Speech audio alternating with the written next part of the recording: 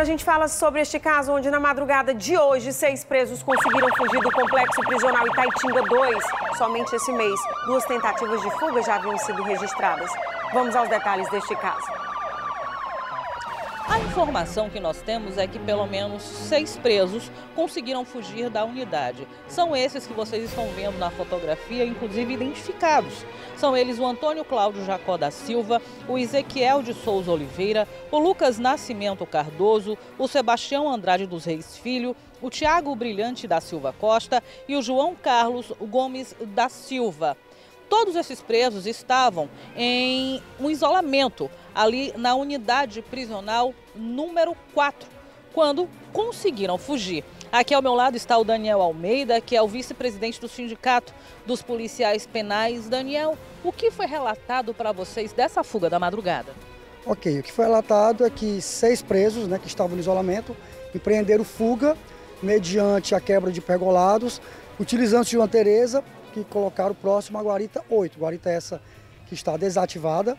É, e o que nos chama a atenção, é, o que vem preocupando muito, não somente ao sindicato, bem como a, a nossa categoria como um todo, é justamente isso: o baixo efetivo, crescente, e, e a gestão da SAP não consegue resolver essa situação persistindo a questão do, do, do, baixo efetivo, que não, não há condição de que o policial possa estar guarnecendo todos os postos é, em atividade dentro do sistema penitenciário. A guarita 8, ela estava desativada realmente por falta de efetivo? Positivo. É, não tem como, com o efetivo que nós trabalhamos hoje, dentro do sistema penitenciário, é guarnecer todos os postos dentro da unidade, bem como as guaritas das muralhas. Agora vocês estavam falando que sempre tem havido essa questão de nunca as equipes estarem completas e isso dificulta muito o trabalho. Ah, com certeza. É, a gente sabe que a gente necessita de no mínimo, né, no mínimo 60 policiais por equipe. Trabalhamos hoje com uma média de 15, 20 policiais dentro do sistema penitenciário. Então é humanamente impossível é, é, é, a equipe que está de plantão poder guarnecer todos os postos. E a gente vivencia essa realidade que até o momento não, a SAP não conseguiu resolver. Olha, cronologicamente, a gente tem já desde o começo de abril um histórico de tentativas de fuga. Então a gente vai para esse último final de semana, domingo, dia 10. Dois presos, identificados como Francisco Átila da Silva e Carlos Antônio da Silva Oliveira, ambos, né, que seriam integrantes de organizações criminosas, enfim, eles tentaram fugir da unidade de Itaitinga 3. Como? Né, vestidos de mulher mas foram descobertos aí pelos agentes que estavam trabalhando na unidade. No dia 3, houve uma tentativa de fuga em massa, também de uma outra unidade. Vários internos aqui trocaram de ó. Tá aqui não, aqui ó. Como é que tá aqui, ó? P2 e C3, ó.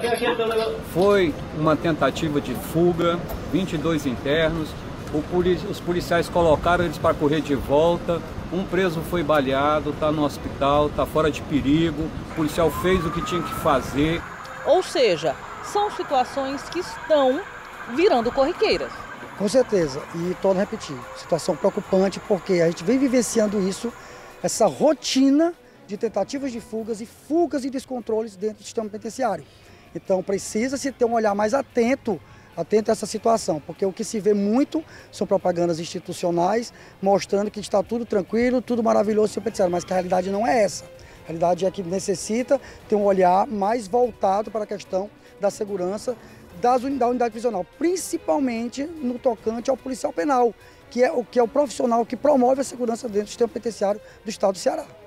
É Manuela Braga, para o Cidade 90.